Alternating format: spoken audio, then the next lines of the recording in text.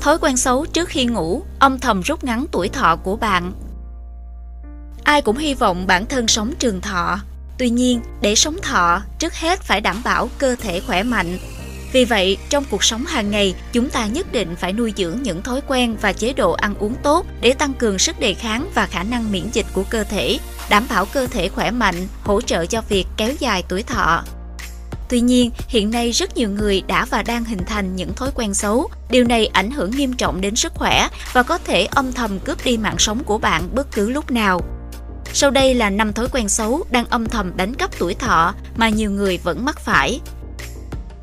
1. Thường xuyên tức giận có thể bạn không biết rằng tức giận thường xuyên có thể làm tổn hại đến năm cơ quan nội tạng quan trọng trong cơ thể. Nhiều nghiên cứu khoa học đã chỉ ra rằng tức giận có thể gây hại cho tim, làm tăng tỷ lệ mắc bệnh tim mạch vành, thiếu máu cục bộ cơ tim và nhồi máu cơ tim.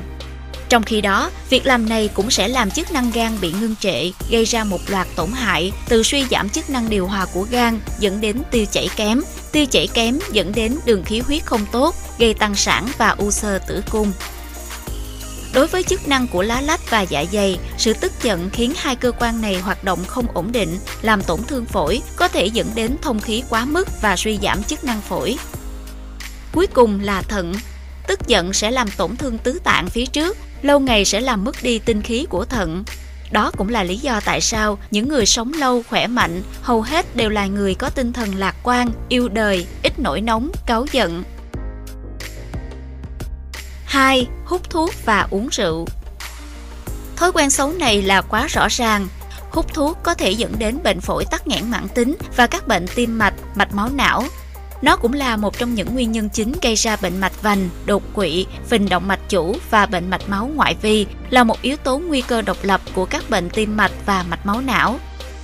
Trong khi đó, một lượng nhỏ rượu có thể làm con người hưng phấn, làm cho não ở trạng thái hoạt động và có tác dụng trấn tĩnh nhất định, Tuy nhiên, uống quá nhiều rượu bia sẽ gây hại cho não bộ, giảm sự chú ý, tập trung và khả năng phán đoán của con người, ảnh hưởng nghiêm trọng đến trí nhớ, làm tổn thương dạ dày.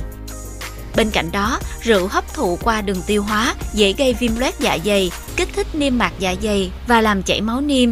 Viêm dạ dày mãn tính dẫn đến tình trạng chán ăn, tiêu chảy lâu ngày có hại cho tim mạch. Ngoài ra, uống nhiều rượu bia lâu ngày sẽ gây sơ hóa cơ tim và mất tính đàn hồi, to tim, tăng cholesterol, tổn thương hệ tim mạch. Do đó, chỉ cần không phạm phải thói quen xấu này, tất yếu cơ thể sẽ khỏe mạnh hơn, sự lão hóa chậm hơn và giúp bạn sống lâu hơn.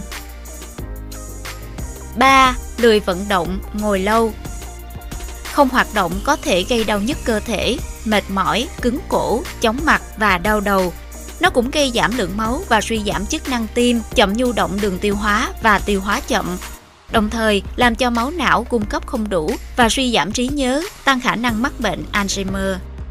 Ngồi lâu có thể gây ra các vấn đề tiêu hóa và hấp thụ kém đi đáng kể, làm buồn nôn, trào ngược axit, chướng bụng, tích tụ thức ăn hoặc tắc nghẽn đường tiêu hóa.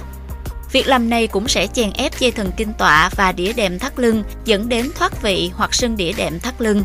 Sâu xa hơn, việc ngồi lâu khiến máu chảy kém ở chi dưới, huyết khối động mạch và tắc nghẽn mau mạch, gây ra hiện tượng tim mạch và mạch máu não do máu cung cấp không đủ, máu kém. Vì vậy, bạn đừng nên lười vận động và ngồi quá lâu, hãy vận động thường xuyên để cơ thể dẻo dai, khỏe mạnh, có như vậy mới sống lâu được. 4. Ăn quá nhiều Việc ăn cái gì để sống lâu là quan trọng, nhưng ăn như thế nào còn quan trọng hơn thế. Nếu ăn đồ bổ dưỡng quá cũng có thể gây bệnh. Nói chung, khi bạn ăn nhiều, nó có thể gây viêm tụy cấp. Ngay cả khi không bị viêm tụy cấp, nó cũng làm tăng gánh nặng cho đường tiêu hóa, phá hủy niêm mạc dạ dày, dễ dẫn đến viêm dạ dày mãn tính, trào ngược dạ dày, gây đau bụng, buồn nôn, nôn. 5. Thức khuya Tin rằng có rất nhiều người có thói quen xấu là thức khuya nếu thời gian dài thức khuya sẽ dẫn đến thiếu ngủ, ảnh hưởng đến quá trình chuyển hóa và đào thải chất độc của các cơ quan nội tạng trong cơ thể. Hơn nữa còn đẩy nhanh tốc độ lão hóa. Nếu thời gian dài thức khuya, sức đề kháng và hệ miễn dịch của con người sẽ bị suy giảm, dễ bị ốm và xuất hiện nhiều căn bệnh nguy hiểm, đặc biệt là kích thích các tế bào ung thư. Nếu muốn sống lâu, khỏe mạnh, hãy từ bỏ chúng càng sớm càng tốt, bởi đơn giản, bạn càng mắc ít bệnh, giữ cho cơ thể khỏe mạnh thì bạn càng trường thọ. chúc bạn thành công. Đầu tư sửa may đưa ngay lên sàn. Thời trang Vaza, thời trang cho phái đẹp. Với kinh nghiệm 7 năm làm trong nghề bỏ xỉ và may gia công thời trang cao cấp cho nhiều shop lớn tại thành phố Hồ Chí Minh, Vaza tự tin đưa đến các chị những sản phẩm thời trang cao cấp, giá rẻ hơn 30 đến 50% so với giá mua ở các shop lớn khác. Truy cập ngay vaza.vn để xem mẫu mới và nhận mã giảm giá đặc biệt khi mua hàng trên Shopee.